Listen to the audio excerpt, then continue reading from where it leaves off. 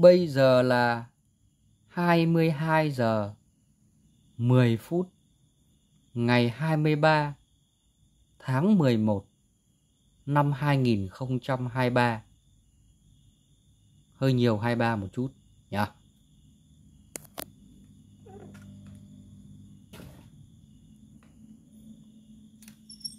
Thế theo yêu cầu của một người anh em có cái bụng tốt, người anh em muốn Trần Văn Chốt một cái bộ phên vỉ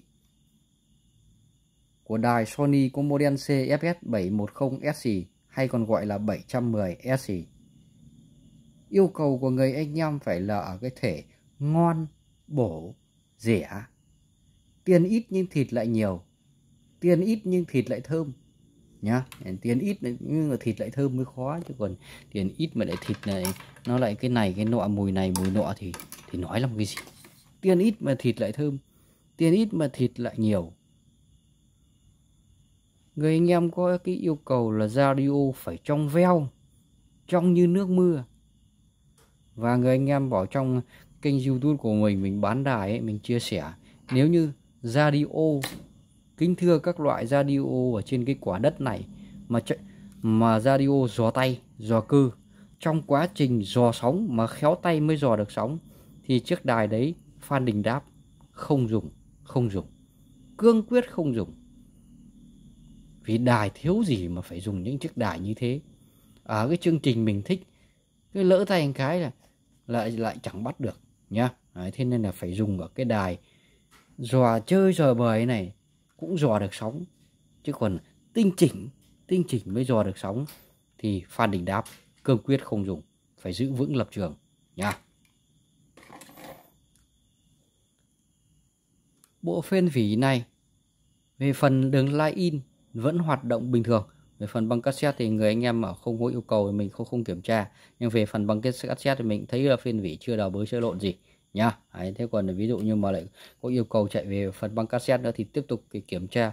Về phần băng cassette thì về cơ bản của nó nó chỉ có điện điện cấp cho hai cửa băng thì khoanh đại đầu từ nhưng quan trọng nhất là hệ thống điện điện nó mà cấp là nó chạy nhá. Đấy. bộ equalizer này hoạt động bình thường.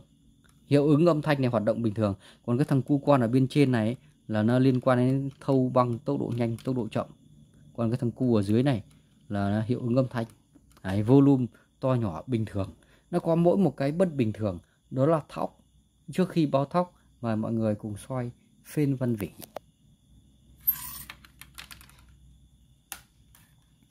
Đây. Tụ xoay zin nhưng mà tụ xoay này vừa mới thay nhưng mà cũng vẫn là tụ xoay zin của đài Sony 710 Đấy. Đây. đây là cái cách nhận biết về phần điện cấp cho băng cassette. Đây này. Đấy, con điện trở màu này. Có hai con điện trở màu trở màu này. Này đấy. Con này này. Con này là một này con này là hai này. Nếu như hai con này mà không phải cái màu xanh này thì đã đào bới sơi lộn nhá Đấy. tất nhiên là nhiều khi con tiện trở xanh, nó nằm ở vị trí đó, thế nhưng cũng đã bị đào bới sơi lộn. Nói thế cho nó chuẩn nhá Đấy. ở cái này, ở cái bộ phên vỉ này, thì băng sóng FM là Trần Văn Nét, đèn FM Citero nổi lên âm thanh trong veo. Đèn FM Citero nổi lên rất nhiều đài trên thực tế có rất nhiều chiếc đài mà ở giải cao nó mới ở cái tần số cao ấy. Ví dụ từ 95 trở đi ấy, thì nó mới có đèn FM stereo cái này 91 nó đã có đèn FM stereo rồi nhá VOV giao thông ấy. Đấy. Còn băng sóng AM thì nó bắt nó sôi lắm. Thì uh, mình chia sẻ nhiều rồi. Không lĩnh hội được cái bài thuốc của Hoa Đà điều trị băng sóng AM chỉ lĩnh hội được cái bài thuốc điều trị bằng sóng FM rồi nhá.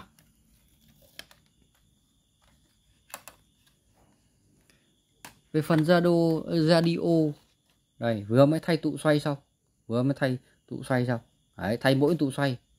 Đấy với lại đây này cái đèn báo của FM stereo này. Đấy, nó bị à, lỏng chân vừa hàn lại có thế thôi. Nhá. Đấy. phên vỉ đẹp đây. Quay đại đầu từ không có dấu hiệu của hàn đấy, IC equalizer không có dấu hiệu của hàn ở đây thì có cái chỗ này cái con đèn bắn dẫn chỗ này. Đây con đèn bắn dẫn chỗ này. Đây đấy chỗ này mình vừa hàn nó tung chân hàn lại. Có thế thôi còn ngoài ra không có dấu hiệu của hàn. Đấy. hay nói cách khác là nguyên bản. Nhá hay nói cách khác là nguyên bản. Thì chỉ có cái là ở đây ở cái bộ phên vỉ này hai cái công tắc này nó hơi cũ. Nó dỉ đi để.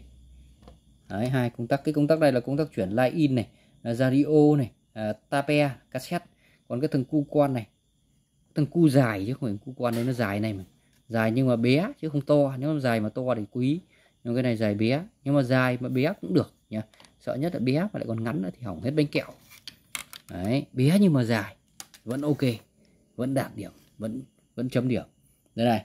Đấy hai công tắc này bị gì thế nhưng mà ở đây nó vẫn đang hoạt động bình thường. Nó vẫn đang hoạt động bình thường. Đấy. Bộ phên vỉ này. Bộ phên vỉ này. Bán nguyên bộ phên vỉ này nhá. Thế còn cái cái, cái nguồn kia thì có mua thì bán thêm còn không? Theo yêu cầu mua đúng bán đúng bộ phiên vỉ này. Trân trọng gửi tới các thượng đế trên giải chữ S, bộ phiên vỉ, nguyên bộ phiên vỉ này. Đài Sony CFS 710 SI cụ thể là bộ phiên vỉ này.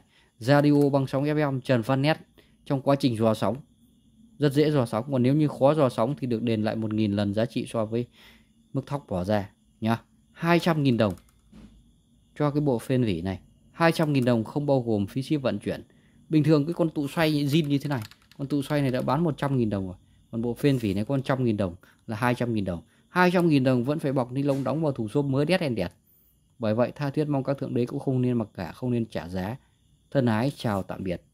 200.000 đồng, rẻ nhất, quả nhất. Quả đất, đệ nhất thiên hạ rẻ à? nha, đệ nhất thiên hạ rẻ à? đây là cái chắc chắn. Khỏi phải sửa chữa. Những ai có đài Sony 710 SC mà không có nhu cầu nghe bằng cassette, chỉ có nhu cầu nghe radio thì khỏi phải sửa chữa cho nó lằng nhằng nhỉ. Số lượng là không có giới hạn.